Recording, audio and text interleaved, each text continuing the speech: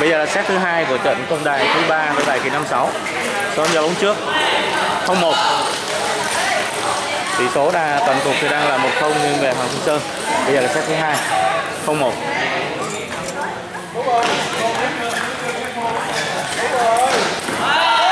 Lại thêm một ba pha đánh bóng hỏng, rất là ổn.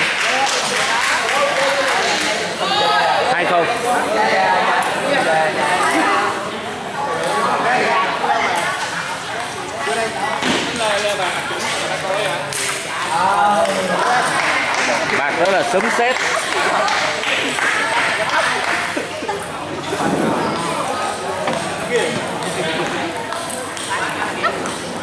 Hai một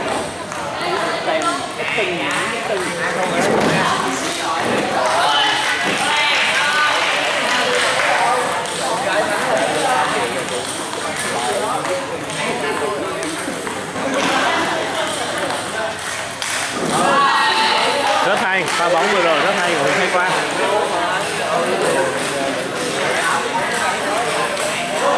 Một bốn.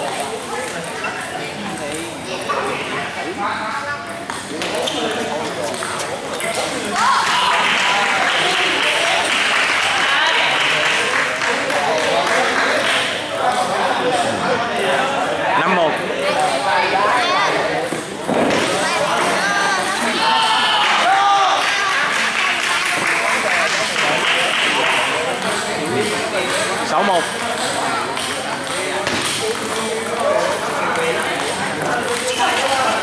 rất hay.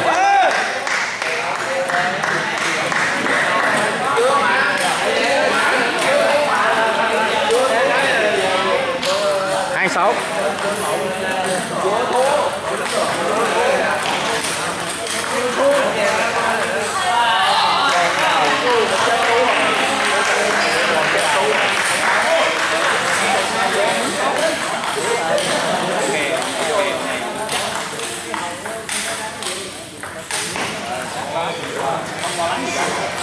Có đại chủ ở đây không chơi.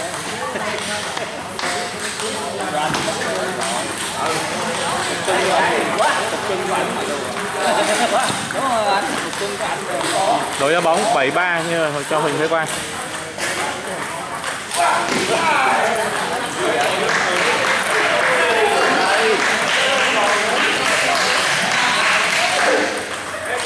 tám ba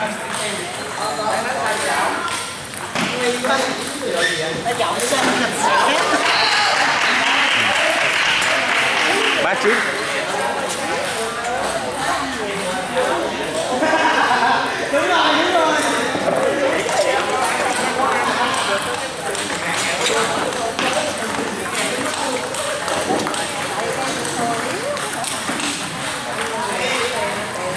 bốn chín.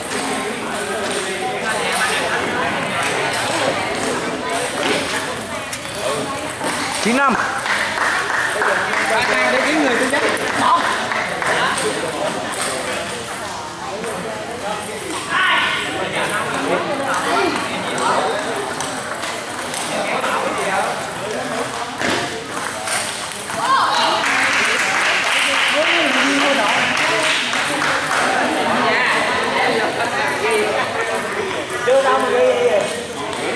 người năm